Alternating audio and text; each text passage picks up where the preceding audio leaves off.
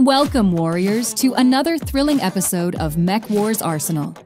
Today, we're unleashing the power of the Wolf machine gun, a formidable weapon designed for the early game stages. The Wolf may be a beginner level machine gun, but don't let its size fool you. This light weapon packs a punch, especially when paired with agile light robots.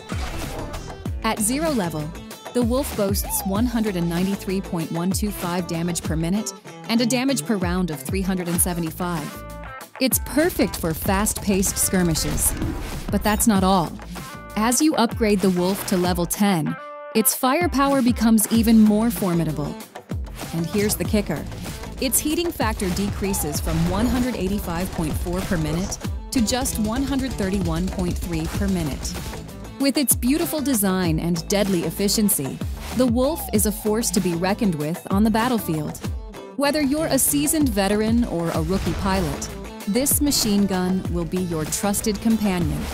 Gear up, warriors, and dominate the battlefield with the Wolf. Join now to Mech Wars, where every weapon tells a story.